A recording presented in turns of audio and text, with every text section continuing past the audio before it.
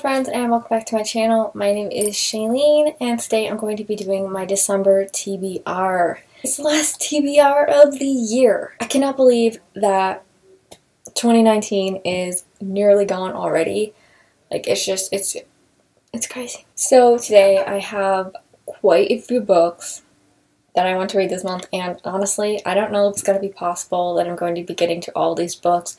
I do have some that's high priority but I just don't know about the rest because December is going to be a hectic month. Like, I have so, so many videos that I plan to film, edit, and just put out for you guys for, you know, the end of the year videos. All my, you know, favorites, my worst books, my DNFs, my most surprising and most disappointing. Like, there's so many videos that I have to film and I have to edit I don't know if I'm going to be having time to read, really. And then, you know, Christmas is just crazy enough as it is. So, yeah, enough blabbering, and let's just jump right on into the video. I want to start out with what I'm currently reading. um, I had hoped to get to these by the end of November, but that totally did not happen. Uh, lately, I've been having a problem with uh, finding the energy to read because I've just been totally wiped out by my illness. So yeah. So I guess I'll start off with the ebook that I'm currently reading. I'm currently reading The Luminous Dead by Caitlin Starling. Basically, this is about a book about a woman who is a caver. It's kind of set in this futuristic kind of world. It's basically on a different world, not even on Earth. And so she's exploring this cave system um, for this here uh, company when really it's just one person. We find that out like really soon in the book. Um, and this person has kind of ulterior motives. And uh, the woman who's exploring the cave, learns about all of these things that uh, basically the person who recorded her uh, didn't mention. And so it becomes a pretty dangerous mission for Gyre, and she lies her way to get into this mission because she needed money. She planned on going off and trying to find her mother who abandoned her some years ago. I'm 54% in this book, so I'm halfway. It's been kind of a slow read, but also I've been struggling to read ebooks lately because I've been getting more migraines. Isn't that just fun? Even though it's slow, I'm still really enjoying it. I'm really enjoying the little tidbits and um, you know, some twists and turns and surprises, and it's so far it's been pretty good. It's just been very slow. So, where I guess we're just going to wait until the end of the book to see how I truly feel about that. But I am also currently reading Archaeology from Space by Sarah Parcak. I've been wanting to get to this one for a while and I finally started to pick it up like last week, but I just been so slow. I'm not like I'm like 20 pages yeah, I'm like 20 pages into this so far. I just actually have to pick it up and read it. Um, so yeah, so far it's been good. I've been liking what I'm reading. Yeah, I'm really not complaining about this. I've been wanting to read this for so long. So yeah, I'm enjoying this one. So, we're going to actually move on to the books that I have to read. I finally, finally received uh, some library books that I requested from the library that are YA books, and the more recent releases, I've been wanting to read these, so we're just gonna start off the stack. So the first one is Wilder Girls by Rory Power. Oh, you really can't see it in this light. There we go.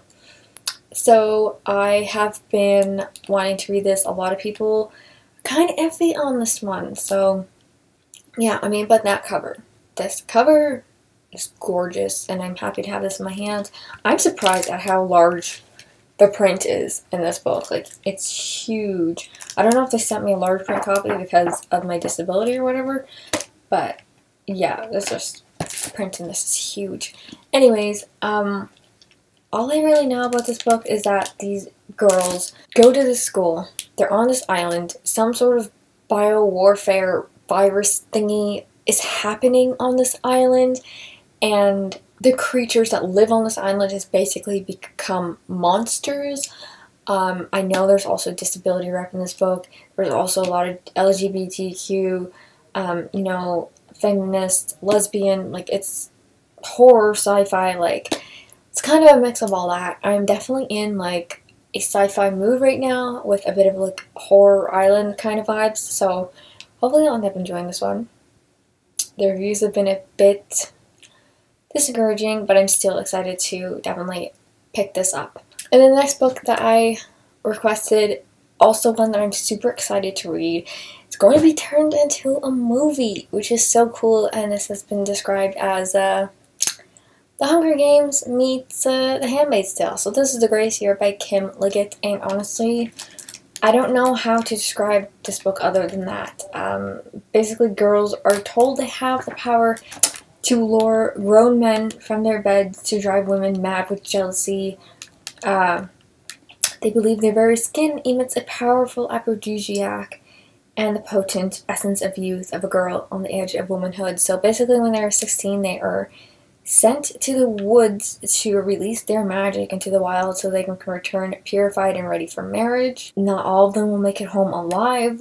Basically, women are pit against each other, and it's kind of like a fight to the death kind of thing where they have to get out of the woods. I've seen so many great reviews of this, so I'm very excited to pick this one up. Um, I love the Hunger Games and I like The Handmaid's Tale, so hopefully this will be good. also, I just love the cover and the inside pages are really pretty. I don't know if you can see that in this lighting, but it's super pretty inside pages. Okay, and the next book that I want to read, was on my TBR in November, which I didn't get to, and I'm so sad that I didn't get to it, but uh, Sky in the Deep by Adrienne Young. Young. Oh my god. My brain can't deal today, guys. But I've been wanting to read this for ages, and I actually got uh, The Girl to See gave back for like almost half price uh, for Black Friday, and I'm so happy when that arrives. but anyways, uh, yeah, I just know that this is the first book in the series. Uh, there's like a blood feud happening, Viking.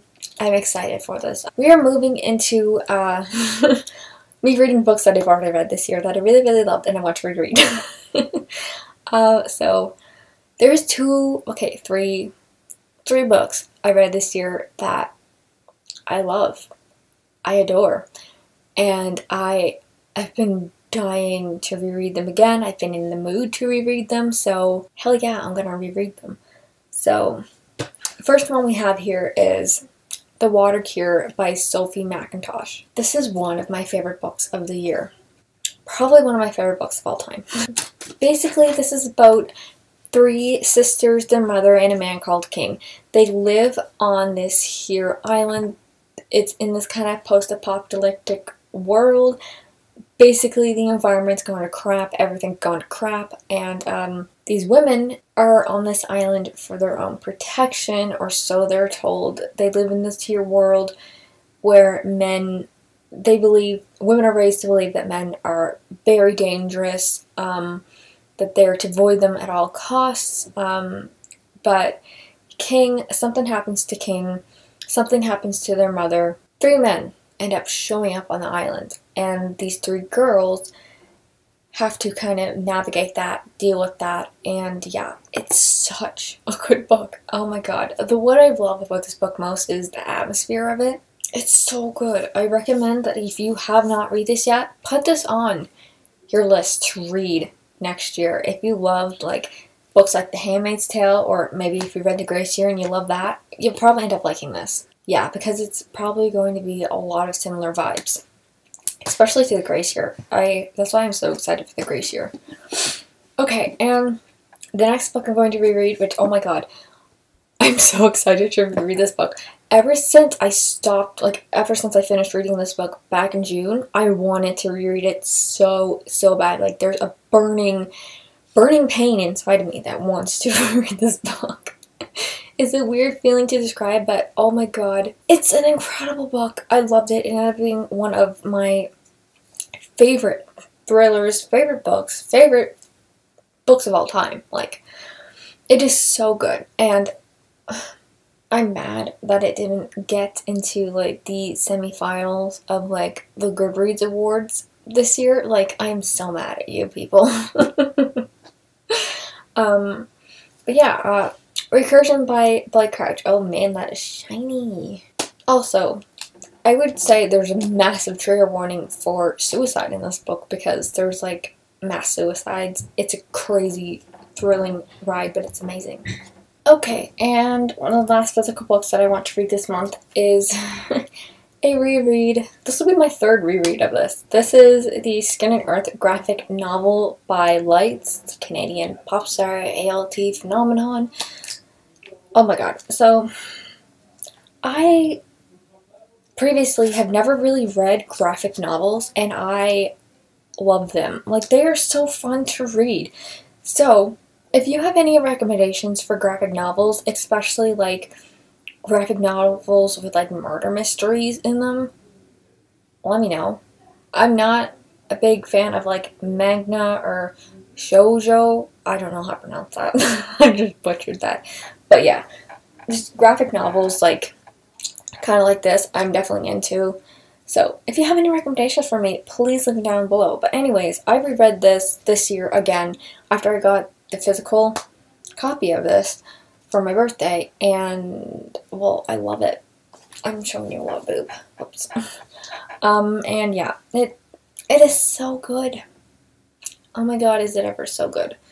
And I have been dying to reread it since I read it ebooks. I think I have maybe two ebooks that I want to read by the end of the year. Yeah, technically three, but they're two of them are very, very short. So the first one that I want to read by the end of the year is Halifax Explosion, uh, Canada's Worst Disaster, December 6, 1917, by Ken Cuthbertson. So I've mentioned it many times on my channel, but I live in Nova Scotia. The Halifax explosion took place in my home province. It was current, like, when the Halifax explosion took place, it was the most powerful man made explosion that took place prior to the atomic bomb. So it was one of Canada's worst natural, uh, worst man made disasters. I believe it still is, if I'm not mistaken. Um, so yeah, this is definitely one that I want to read, considering it is Canadian history, local history for me, and I really want to read it. So that's definitely really high on my list. And there are two other books that I want to read, and I want to like finish this series this year, hopefully if I can. Sound of Siren series is what I'm calling it. I don't really know if that's the name of, or no, it's the Tales of Sky League. Basically. this, can you tell that I didn't even prepare to film this video? I'm reading The Light of Lorelei by Jen Minkman, which is the second book in this year's series. Uh, but I ended up really loving this series. I really love the folklore of this series, and it's really good. And so I also want to read the third one, Fire of Fires, Firesland. I don't know. There's very weird names in this because it's based off of like, uh, I think like Norwegian folk tales and stuff too. So like these books are like 200 pages long. Not even that. No, see this is 177 pages and then it, yeah. They're super short is what I'm saying basically and I just I want to finish the series and I want to start other series. If you guys enjoyed this video, go ahead and give it a thumbs up and subscribe. Um, let me know down below if you have read any of these books, maybe what your favorite books of the year were. Um, if you plan on rereading any of your favorites from this year that you read, yeah, you can go ahead and give us a thumbs up you can subscribe. I'll leave the links to my Instagram, my Goodreads, and my Twitter in the description below, and I hope to see you guys next time. Bye!